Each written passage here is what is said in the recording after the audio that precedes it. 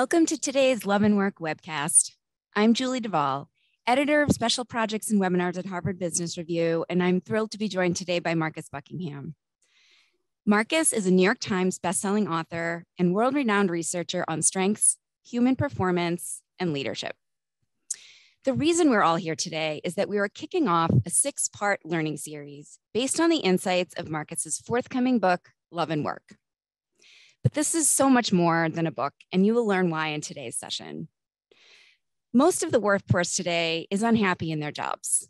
We're stressed out, we're burned out, and just simply going through the motions. And that's really not how it should be.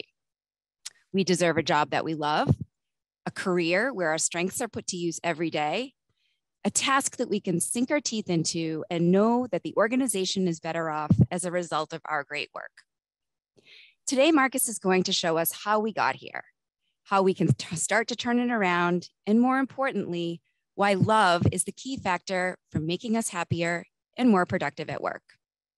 So, before I turn this over to Marcus, I wanted to let everyone know that this event is being recorded and will be emailed to all attendees following the event. It will also be posted on loveandwork.org. Marcus, thank you so much for joining me today. I'm so glad to be with you. And while I'm disappointed we weren't able to do this in person, I know we'll be able to do that in a future webinar session. So we'll look forward to that. Yeah, how are you, Julie? Can, uh, can you see and hear me all good? I can, yes. And so glad to be with you. And kick us off, Marcus. How did we get here? Well, here was supposed to be HBS, and of course, then the Omicron did its wonderful thing, and I think an abundance of caution. So we will, you and I, we'll be sitting together here shortly. Um, we just, for all of you watching, we just thought it might be a little bit tone deaf. We were in the same room with no masks and no one really sure exactly what was coming around the corner, as has been the case, I suppose, for the last uh, two two years. But what we're talking about here, Julie, is the, the simple fact that for many millions of us, work just isn't working. We have engagement levels, and this was pre-pandemic engagement levels at 16, 17%. We've done this through my role as head of people and performance research at the ADP Research Institute. We, we've done global research on resilience and resilience around the world is about 16, 17%. This is pre, pre-pandemic. And then now, during the pandemic, of course, we've just sort of turned the pressure on.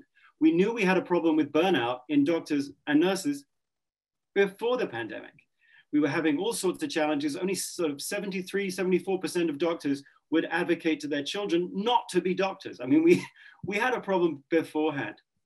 Now, of course, we're seeing resilience two or three percentage points lower, engagement two or three percentage points lower, basic trust in colleagues and team leaders, team and se senior leaders um, down in the, in the low mid teens. We've got something going on, regardless of the pandemic, something that alienates many millions of workers, at least according to the workers that are the workers. When you actually just measure their sentiment, work is not a place in which you go to discover yourself. Work is not a place in which you go to nourish yourself. Work actually is a thing that you withstand. Work is something that you have to keep at bay. Work is something, in the cliche term, of course, Julie, that you have to balance out with life. In fact, today, I don't know whether you saw this, but I just saw Panasonic, um, the global uh, you know uh, tech company, is is officially going to a four day a four day work week. Uh, presumably because if work is really bad, then we shouldn't have too much of it, and therefore five days is worse than four days, which I guess would be worse than three days. So we've got some systemic challenge around the relationship of it, us as individuals to the work that we're being paid to do. And you can see it in all sorts of data. So in a sense, pandemic or no pandemic, pre-pandemic, during pandemic, post-pandemic, we've got a challenge in terms of having workplaces which really see the whole human being. So I know we're going to get into this a little bit later on, um, but it's not just us that are stressed out. It's kids that are stressed out. It's um, they're obviously facing something wrong in their lives. Talk a little bit about that for us. Well, again, you know, I mean, the pandemic, of course, is just causing uh, challenges in terms of how we educate and parents that are stressed. But what we know for sure, and this is global, we know that that we are creating through the way in which we do school we're creating super stressed out, alienated kids. We're prescribing Adderall at record levels. We're prescribing the Xanax to reduce the stress of the Adderall. We are from almost from kindergarten. I mean, obviously, zero to five, you take a kid zero to five, every parent, for those of you that are parents, you, you, you know this, you look at your kid zero to five, and it's like they are just a ball of uniqueness and amazing wonderful weirdness. And you look at them and you see their whole humanness and you and you kind of just invest them with love and you know in your heart that your hope is that they will be the greatest and biggest version of themselves and, and they're just sort of wrapped in a bubble of love and then you send them to school and almost immediately love is drained out of their lives from five and i don't want to be cynical about this but let's just be honest about it from five all the way through to the end of college, education really is information transfer and confirmation. It's information transfer, as in there's nothing inside the kid. We got to teach the kid a whole bunch of facts or skills, and then we test the kid to confirm whether or not that stuff has filled up their vessel. And the best student is the one that's fullest. And so, all the way through high school and into college, education is really just meeting requirements. In high school, it's often GPA requirements, but you go to college and then there's a list of required classes in order for you to graduate in four years, and you have to meet those requirements. And then goodness knows, we we have you graduate, and then you join the working world, as you know, at, at HBR, you hire a bunch of graduates. And then we define work as meeting requirements, goal requirements, competency requirements. So almost from five all the way up to when you join the working world and beyond, who you are as an individual, who you uniquely are, and all the stuff that your parents looked at you with and hoped that you could become this biggest version of yourself, all of that almost becomes irrelevant. And your success as a student, as a college graduate, as a worker becomes how closely do you meet the requirements that we've set up for you? Your uniqueness isn't just not interesting to us, it's kind of an impediment to you meeting the requirements of the model. That's the big ecosystem that we're facing. And then we wonder why people are so alienated at school, or we wonder why people are so lost at work. Why do we need to drug ourselves up so much at school and at work? It, well, we've sort of built it so that you get so you get hidden. It's sort of built that way. Right. So you did just mention work. So I want to bring it back to work because, yeah. you know, a pandemic aside, we are kind of in this economy that's booming. Organizations are doing well, you know, even universities are doing well, endowments are up. So where's the problem? Well, the, the problem right now for individuals is pretty clear. We don't feel nourished at school. We don't feel nourished at work. We feel that surveilled at work we feel mistrusted at work. Um, we feel a blurring of the lines, of course, between work and home, and the pandemic's just sort of turned that up to 11.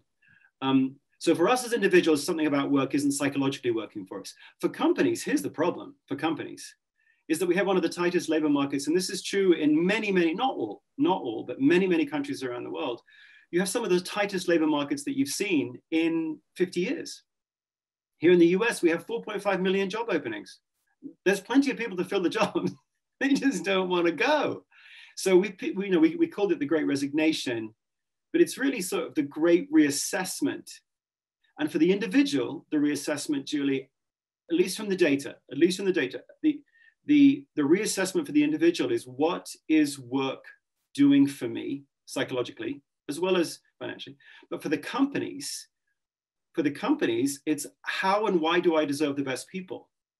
I mean, I was talking to the CEO of a healthcare system the other day, 13,000 people in the company, 700 nurse openings.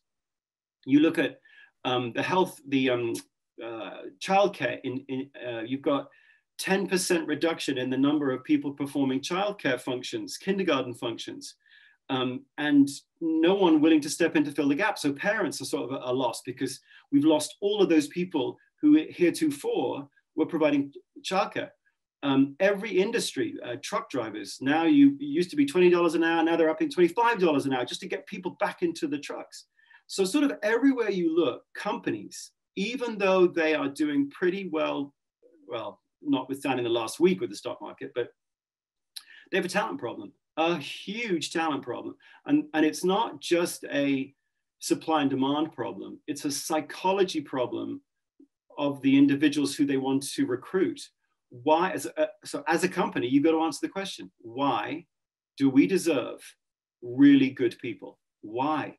And at the moment, that's a challenge for many companies, but I think it's not overly Pollyanna to say it's actually an opportunity for many great companies to come out of the situation completely recalibrating what the promise is. What does work promise you? If it promises you surveillance software and meeting of requirements and conformity and uniformity, then you won't deserve the best people, which I guess is why we're having this conversation.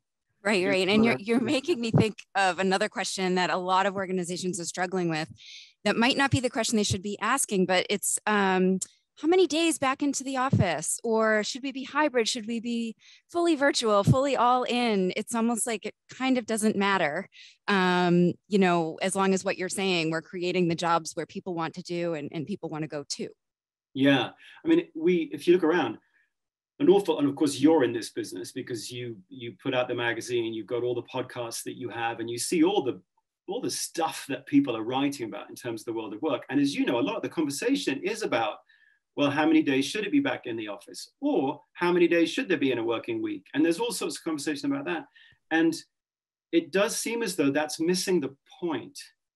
The point is, wherever you do work, by the way, the data show it is entirely possible for you as a team leader, if any of you are team leaders, if a person is working remotely or if a person is working right next to you, you can build connection with them or not build connection with them the, the physical location doesn't seem to drive team connection or not. Team connection is a function of what happens in your heart or what happens in your mind, not what particular office you happen to be in. So there's a way to stay connected so long as we think about work differently. At the moment, we think almost uniformly of work in the same way we think of school. We define the requirements. Who you are as a unique individual is irrelevant, and then we measure you against those requirements. We hold you accountable for those requirements and I'm not suggesting that we have chaos, but we, we can get into that if you want. But we haven't really stopped and thought about why do we keep designing such loveless work? If we design loveless work, let's take housekeepers in hotels. If we assume that housekeeping is a rotten job that no one would want to do, then lo and behold, it shouldn't be that surprising that we end up designing rotten work that no one wants to do. Same with warehouse jobs, same with professional services jobs, same with sales jobs. If we assume that people are going to try to get away with working as little as they can if people basically don't have great intentions. But also if we assume that each person is basically an empty vessel and we can their uniqueness of what they love what they loathe what they is all changeable we could we could rewire your brain into whatever we want you to be. If that's what we assume then no wonder we design jobs that are basically loveless. And yet sorry to be all animated about this but and yet if you look at excellence at work in housekeeping. I, my, my first job at Gallup was interviewing the world's best housekeepers at Walt Disney World. Boy, you, and I know that sounds sort of a silly sentence, world's best housekeepers, sound like, like what? But I was talking to the eight best housekeepers at Walt, and, and they are amazing. And they talk about all the sort of fun stuff that they do in a guest room to make the guests feel at home. They lie on the bed, they turn on the ceiling fan because that's what the guest does if they come back after a long day in the theme parks. They arrange the little toys of the kids in a little scene every day. And you just go, wow, that job sounds so great. If you if you look at excellence at work, also outside of work and sport, and but when you look at excellence at work, there's always love in it. Loveless excellence is an oxymoron, isn't it? There's no collaboration without love. There's no real trust without love. There's no real um, innovation without love. So when companies really look at what they want, innovation, collaboration, creativity, you don't get any of that if you've designed loveless work. And we've designed, and we could get into details of this, but a lot of the work that we've designed, housekeepers is one sort of classic example, we've designed work as though there's no love in it, and then there's no love in it. And then lo and behold, people only want to work for it. Like it's, it's sort of a, you know, it's a downward spiral of bad assumptions. Right. Well, you're actually getting to a question that a couple people have. Um, Anthony and Ahmad both are thinking about the love element. And I know we were going to transition to this anyways. So give us a good definition of love and what we're talking about in regards to whether it's the book or, you know, all that you've been talking about. Yeah. So when I'm talking about love initially, I'm not talking about romantic love. I'm not initially talking about love of another human. I'm talking about the fact that every single one of us as human beings, and you're never taught this, no one ever teaches you this at school. I was helping my daughter uh, figure out what the difference was between a parallelogram and a rhombus the other day because there was homework. And you realize there's 10 years of really detailed curriculum on geometry. I mean, somebody's really thought about 10 years of curriculum on geometry and then put my daughter and every other kid through that curriculum. She has nothing on herself. There is no time. There's no hours spent on who my daughter is, what drives her, what she loves, what she loathes, what's the detail of that, what's the specifics of that, how do you use the stuff you encounter in your day to figure out what you love or loathe. It's all so generic, isn't it? It's like the Steve Jobs thing do what you love, and then we sort of leave it at that. But actually, actually, what we know for sure is that every single human, regardless of their gender, regardless of their race, regardless of their siblings and what socioeconomic environment they grew up in, every single one of you watching today is, is unbelievably unique in terms of the synaptic connection network in your brain.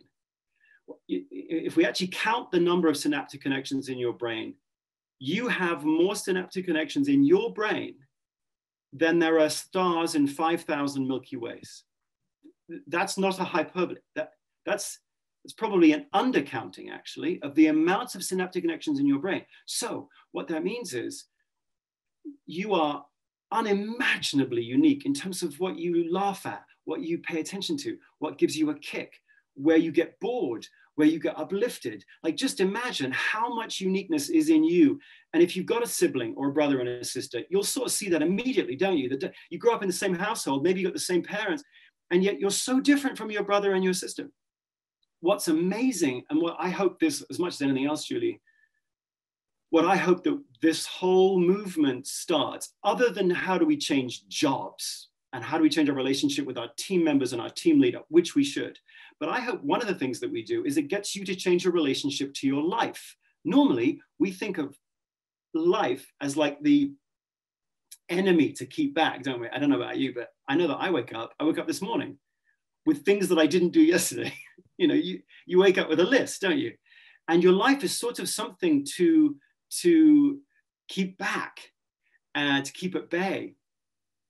And, and yet, actually, if we think about life differently, life every single day is sending you signals all the time about what you might love, little moments, contexts, uh, activities, situations, people. It's sending you thousands of signals every day. It's like putting on a show for you every day. It's like speaking to you in a language that only you understand. And so part of this whole love and work approach is be- it begins actually by saying to you, you have a massively unique network of synapses in your brain. And it means that you speak a weird language that only you speak. And life tells you it sends you clues every day about that which you love. Activity, situation, context, people, that which you love. What we know from Mayo Clinic research is that the most resilient doctors and nurses don't spend 100% of their time doing something that they love, but they've figured out through the signals that life is sending enough of what they love to do at least 20% of activities in their day that they love. 20%. 20% appears to be a threshold, by the way, Julie. Like above that, you don't seem to get much more bang, but below that, 18, 17, 16, 10%. With each percentage point reduction in time you spend on activities that you love, there is an increase in burnout risk. So we don't need to um, we don't need to do what we love. We need to find the love in what we do, which is really different no one's ever taught you how to do it, which is absurd, but also true. You have, you know, we said there's five love languages. No, there's as many love languages as there are people alive on the world.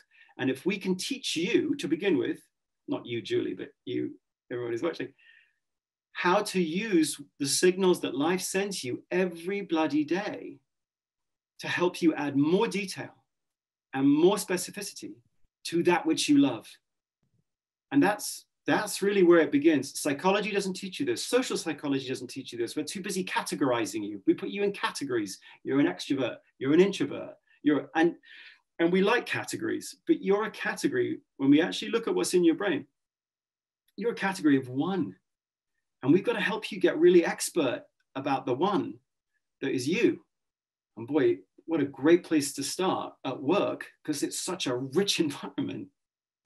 Right. As I'm listening to you talk and you said Myers Briggs, I'm thinking, oh, I hope a lot of managers out there are thinking, I'll just have, you know, my teammates do the Myers Briggs and then I'll understand what their strengths are and then we'll be on our way. But that's not the fix here. So tell us a little bit more about what the fix will look like inside organizations. Well, uh, by the way, no knock on Myers Briggs. No, no knock. Right. No knock on anything which starts you thinking about the fact that somebody on your team might be wired a little bit differently than you, heck, I built Standout. I, with Don Clifton, created Strength Finder. I mean, getting people to start thinking a little bit about the fact that you don't treat people as you would like to be treated, because that presupposes that they're wired exactly the same way that you are. You treat people as they would like to be treated. So anything like Myers Briggs or DISC or Strength Finder or Standout, those are good, different angles, but those are good ways to help a team leader go, oh, you might be wired a little bit differently than me. But, but as with standout, if you take the standout assessment, you get your top two strengths roles of nine but really that's not the end of the conversation. That's the beginning. It's like i always think of the top two standout roles as like coordinates. My top two happen to be um, stimulator creator. So i always think with standout it's like meet me on the corner of stimulator creator and i'll get out of the car and poke around on that coordinate to get more detail more vividness more specificity about the actual activities that i love and there are some clues. I mean, there's the most obvious clue. What do you instinctively volunteer for? Where do you instinctively raise your hand? So sometimes that leads you astray. It's like a misinstinct, but but those things you instinctively find yourself doing this for, that is an interesting thing to pay attention to. Um, flow. When are you when, when you're doing something in just time so it seems to just whip by?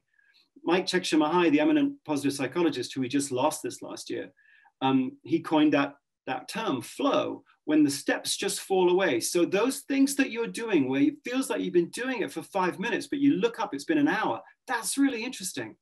We don't help you know that at 10, which is such a shame because you could spend your entire teenage years just adding more detail and vividness to, wow, how do I learn? And, and, and why does that turn, that book, it felt like I was reading it for five minutes, but I was reading it for an hour. Wow, some other books, I read it for an hour, it feels like, you know, it's the opposite. So flow is a lovely thing to pay attention to. Um, it, it just clicks. That's another clue where you learn it faster than you should. I bet you've had that, right? We, mm-hmm. you and I've mm-hmm. actually talked We've about talked it. about it, yeah. Yeah, that there's some things you learn where you actually have to learn the steps because it's like, you know, molasses. But there are other things where it's almost like you've done it before in a previous life or something, and you it just clicks. Okay, that's interesting. And more broadly, Julie, just this one. How about this clue? What do you find yourself instinctively paying attention to? When you instinctively pay attention to something that other people don't, has anyone ever just drilled down with you on that? And then is that part of a pattern? How about that? Is there a pattern of attention that you have where you're instinctively picking up on things that other people aren't picking up on? Okay, what a wonderful avenue of inquiry to go down. And yeah, Myers Briggs, that might be a good place to start. Strength Finder, Standout, good places to start. If you're a team leader and you don't get to see your people who are brand new on the team, fine, give them Standout or give them Strength Finder. That's, that's fine. It accelerates your understanding of uniqueness. That's fine. But don't, don't stop there because it, you're, you're taking 5,000 Milky Ways and you're massively oversimplifying who you are. Okay, don't, don't do that. You're such a unique creature. All we know from the data is the most resilient, most successful people really take the detail and the specificity of what they love really seriously. And then they turn it into contribution. So the best doctors do, nurses do, salespeople, leaders. They're taking their loves seriously, even if their school and their workplace and their team leader might not be. So there are a lot of audience questions coming in. So I definitely want to start getting to some of those. But before yeah. we um, take these questions, Marcus, you and I have been talking about um, some ways we want to bring this to life um, for everybody in the audience. And you have a couple of ideas for what's coming down the pike after today um, in regards yeah. to love and work. Yeah, so actually, if we could um, if we could share that slide of what's of what's coming down the pike, that would be uh, that would be great. But um, I know as I was describing this, um, hopefully you can all you can all see that. Um, look, I, I'm describing an ecosystem here. We are massively overprescribing the Adderalls, the Xanax to our students. We've got anxiety at record levels, engagement at record low levels at work. We know there's a there's a systemic problem, and that can be a little overwhelming. So what what myself and HBR thought would be helpful in advance of a book in April, which is you know months away. Let's build a let's build a comprehensive learning series for you so that we can equip you to make change. Now, you might just want to make change in your own life. So, how can you use the raw material of your own life to figure out how your life and work can nourish you rather than deplete you? So, it might just be change in your own life, but you might be one of those people who wants to make change on your team. Or maybe you're a parent and you want to make change in the life of your student or the life of the school that the student's are in. Uh, you might be in a relationship if you're in a relationship with someone, what does the data share with us? What does the data tell us about how you see somebody with love? I know that sounds squishy, but, but there's a lot of really interesting data about how you see someone with love, because so often in relationships, it's like, I love you, you're perfect, now change. So we put this five part uh, learning series together with HBR, and Julie and I are going to do this uh, once a month uh, for the next four or five months. And for those of you that pre-order the book, we're going to make this comprehensive learning series available because we're basically trying to equip you. A book isn't enough. It's like we need to equip you with the tools, the insight, the actions that you can take in whatever sphere of influence you think is most important to you. We can't fix work if we don't fix schools. Some of you might be more interested in work than schools. All right, then we're going to try to help wherever you think you can make change we're going to try to equip you with the tools that you need. So if you if you pre-order the book, you can come to these sessions, and at the end of them, we're going to give you the, de the designation of a love and work leader.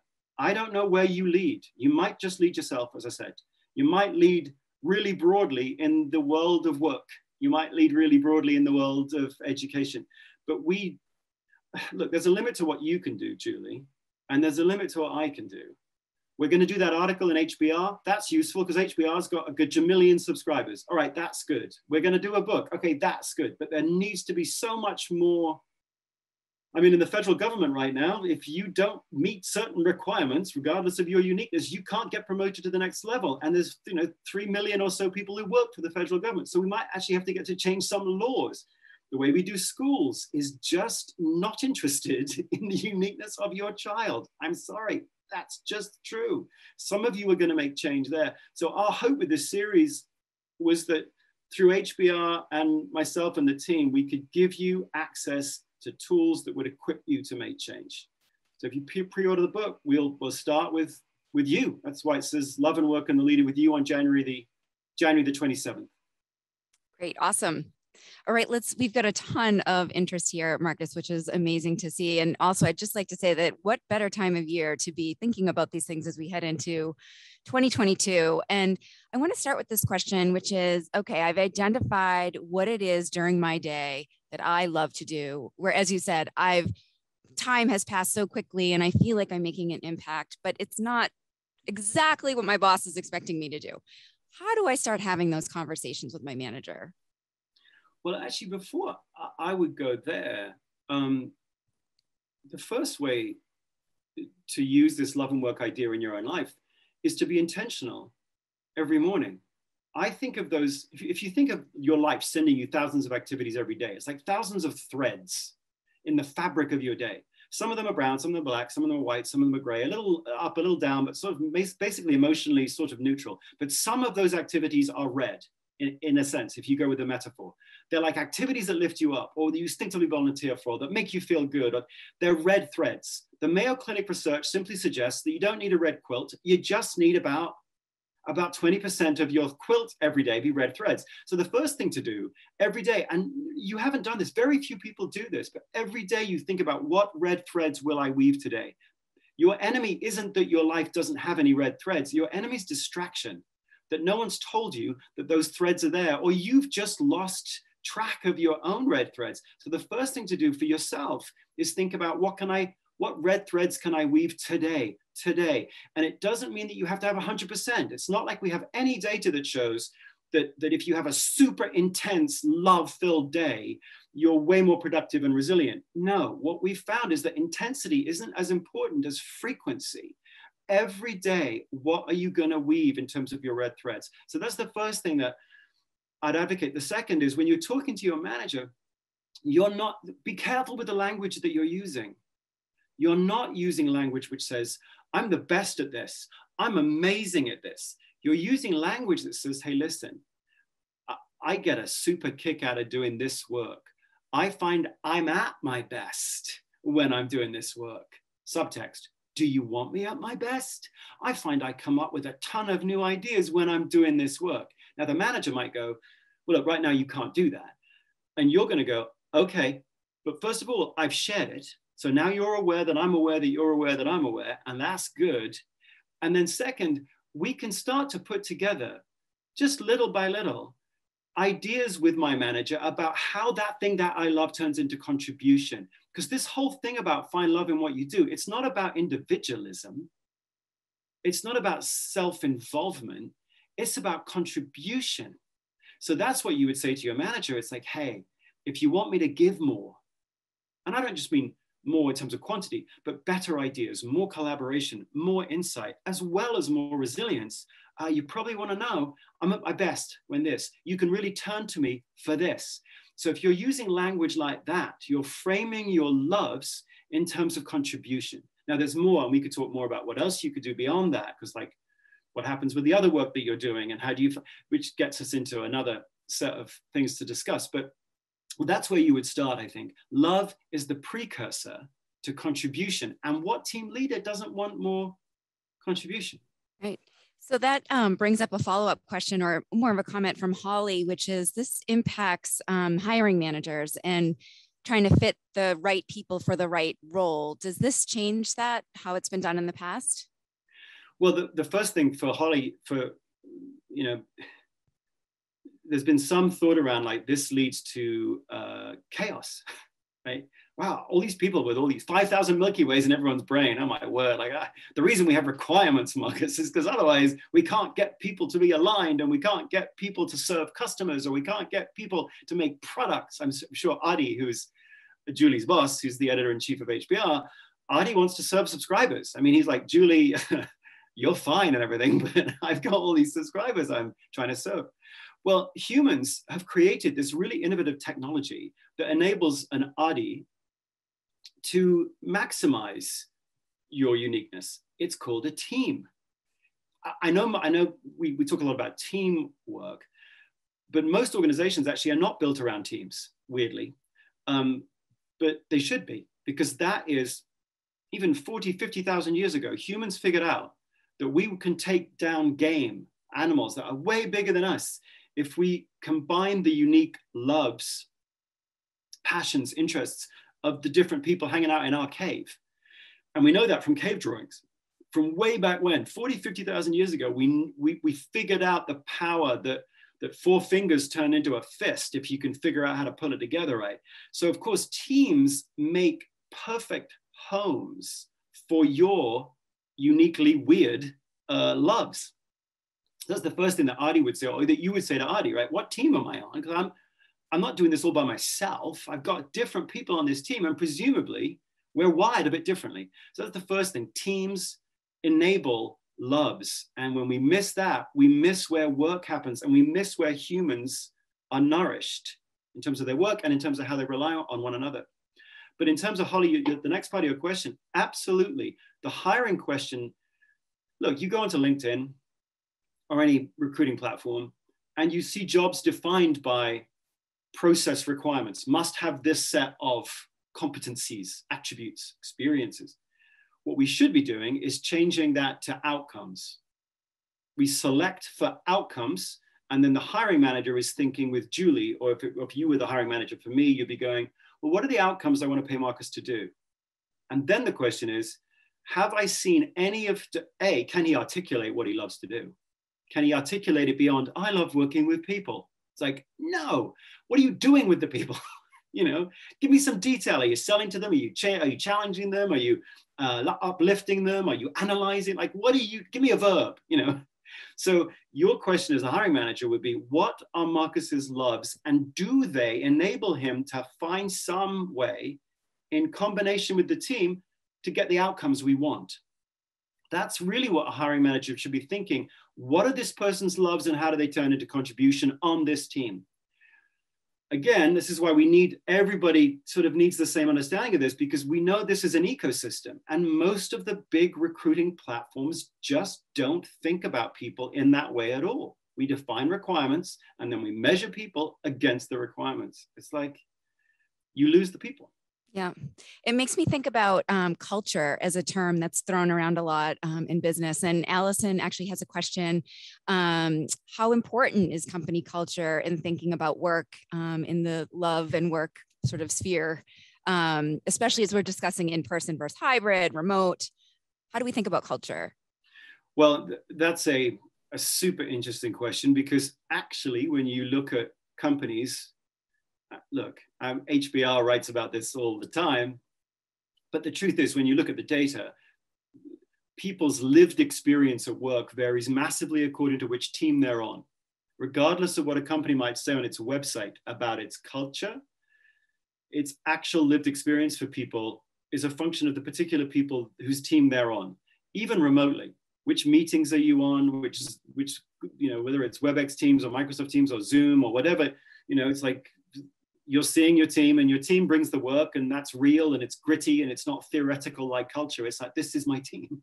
So and that varies. Even if you join a company like i don't know tesla and you go well tesla has a culture that's really different from uh, goldman sachs. Uh, well may, may, maybe the ceo of tesla is different than goldman sachs but the experience of working at tesla will vary hugely according to which team you're on at tesla. So that's the first thing one would say about culture but the second thing, really today, culture in a sense means talent brand. That's really what it is.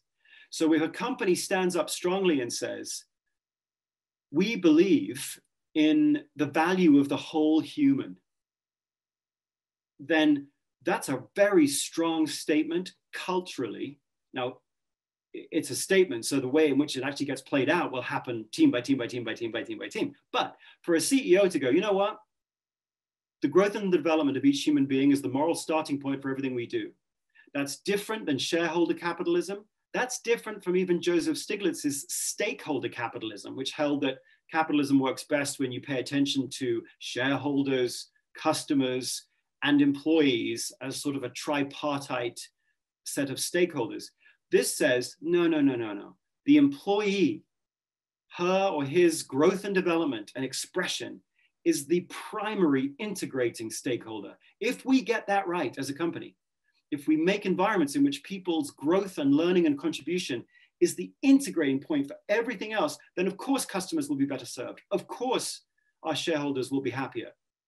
But that cultural commitment is an incredibly important thing to hear from your CEO. And frankly, all the way through this pandemic, I think it's a wonderful opportunity for some companies to juxtapose themselves against other companies that I won't name, whose CEOs clearly are culturally saying, hey, employee, you're just a cog in the machine, man.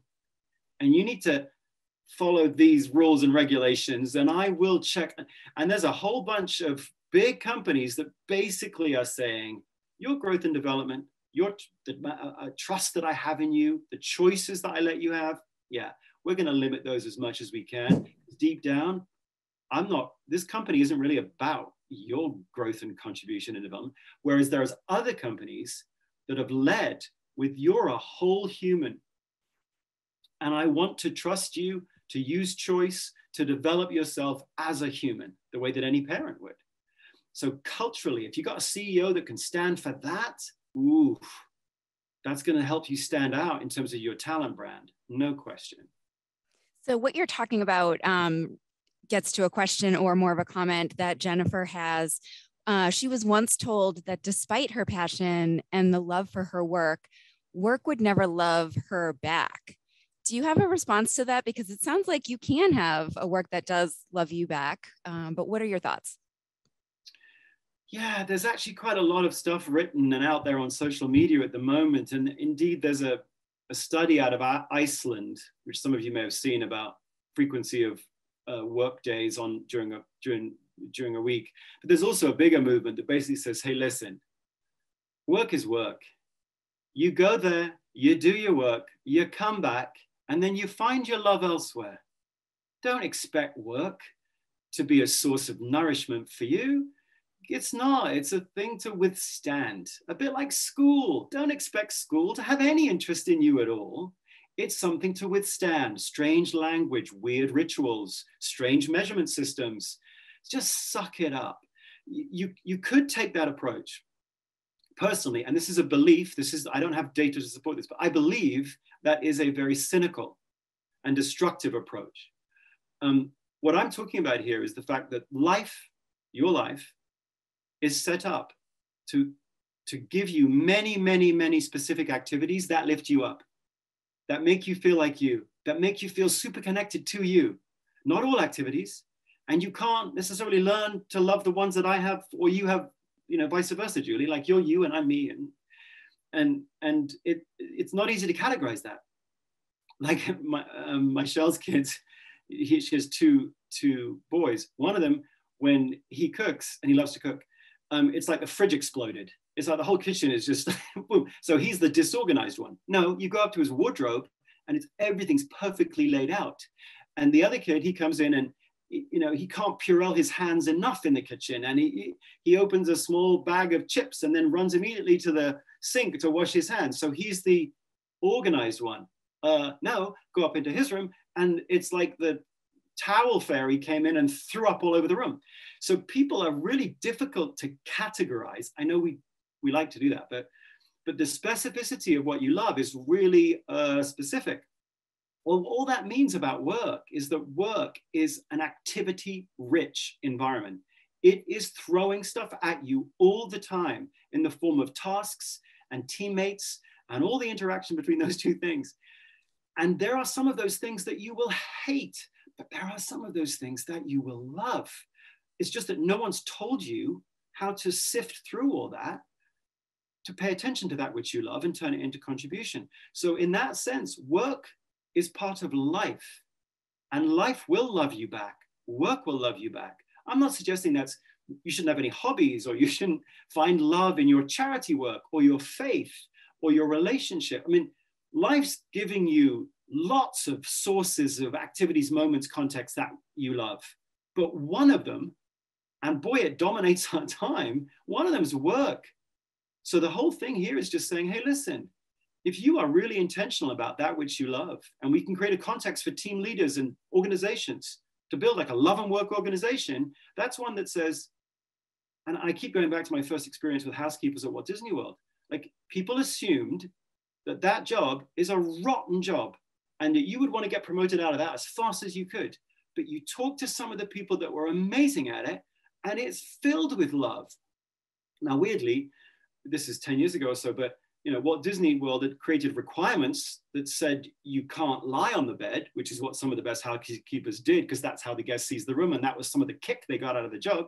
And there were requirements saying you can't touch any more of the guest possessions to clean the room. And yet that was precisely what some of the best ones were doing. So there's an irony there that if if we don't pay attention to the fact that work can love you back, we end up defining requirements that are completely blind to what the best people love about what they do. So work doesn't always love you back, but it can offer you such raw material about that which you love.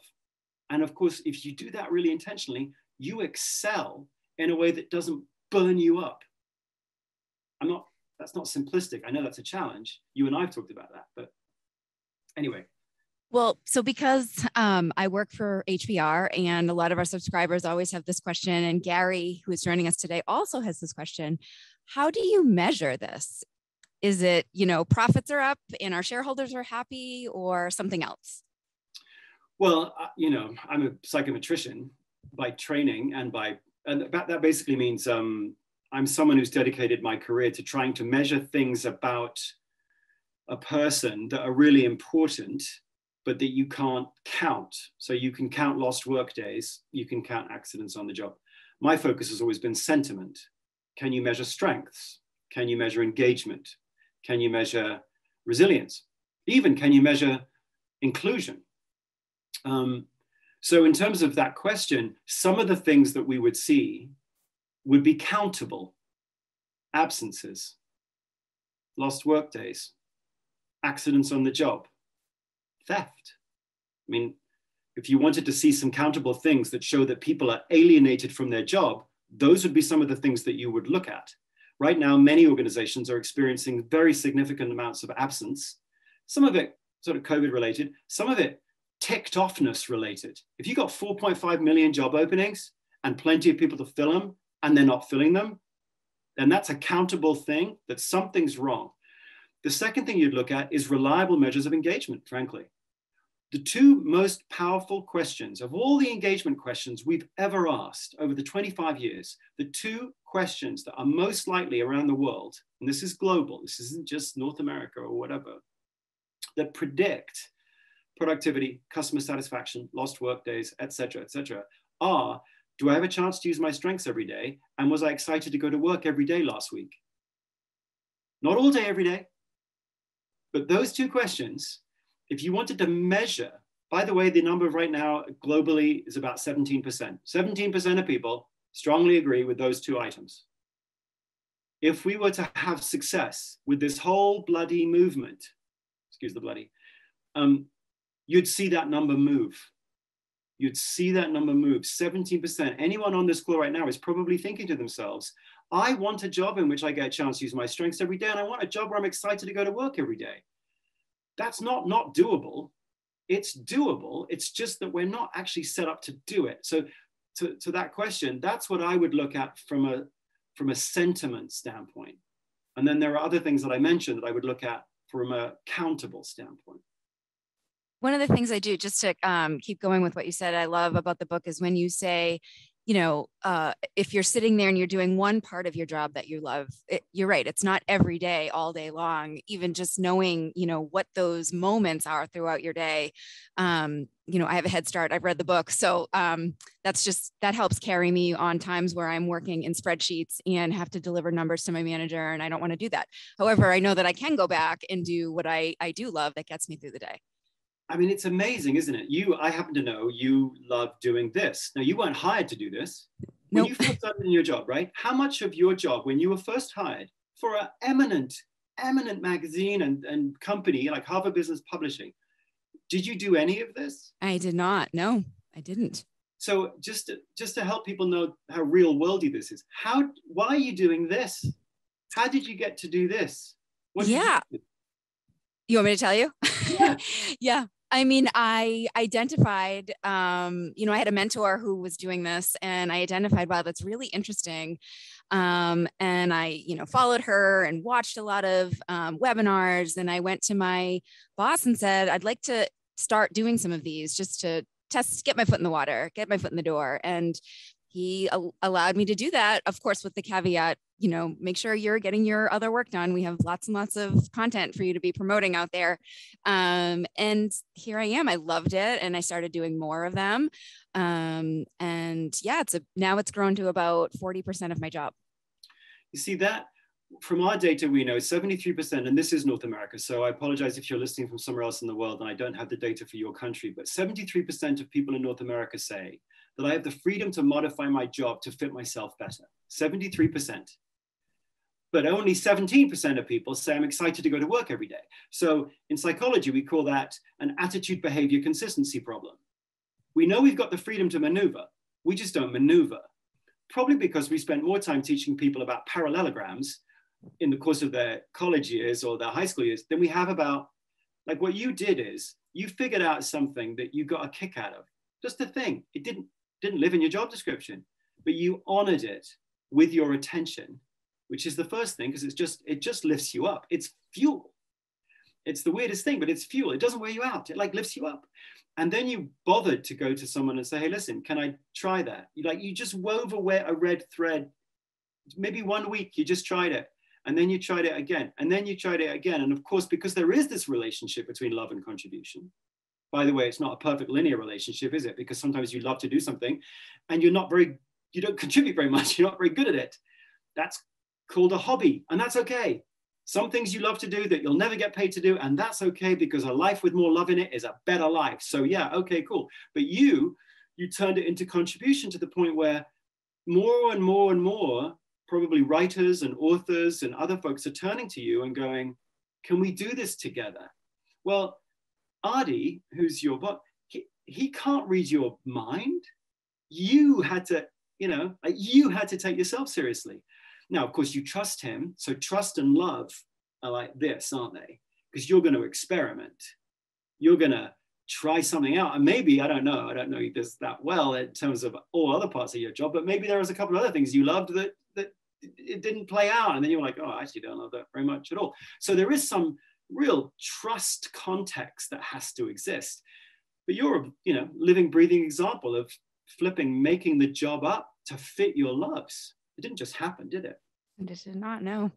Um, so I think we have time for one more question, um, and there are so many um, that I could have gotten to. But um, Alicia's question really hit home for me because um, I'm also a manager. Um, and she says, I'm so excited to be talking about this, but it also sounds very exhausting as a manager or a teacher, and even as a parent. So she's a parent of multiple kids how do we do this? Or maybe even i know that's a that's a big question but how do we get started? Yes. Well one of the reasons i'm sorry what was the name of the person who asked that question again? Alicia. Alicia, alicia. so alicia frankly one of the reasons why we put together the learning series is because the moment you start thinking about this it it's like whoa. And then it, it almost immediately your brain hits parent uh, team uh, me uh, kids, right? It, it hits everything. And part of the challenge why companies build such boring, loveless jobs is because we haven't really put it into parenting, kids, schools, lessons. So this is an ecosystem, which is why we put the learning series together. So the short answer to your question, Alicia, is, you know, pre-order the book and come to the sessions because we're going to dive into that so that you, are not overwhelmed. Um, the best place to start, though, always is you I know you're a team leader, but you can't really pay attention to your people unless you paid attention to yourself. So it's that old put your own oxygen mask on first. Otherwise, it's all theoretical. You have some activities every single day. Your day is like a buffet. It's showing you so many different things every day. Some of them are red threads. They are. And some of the clues are what we talked about in terms of volunteering or rapid learning, whatever. Some of them are red threads. Just start next week. Be intentional every day to think about what red threads can I weave today. Just start with you. Start with you. And then once you've got some specificity to you, you can start turning your lens onto your team because it isn't exhausting. You're really saying to your team, uh, and there's a very simple ritual through which you can do this called a check in, where you're saying to your team, 15 minutes every week just just two questions about last week and two questions about the upcoming week. Last week, you're just going, what you love, what you loathe. This week, what are your priorities? How can I help? That's a check in. What you love, what you loathe, what are your priorities? How can I help?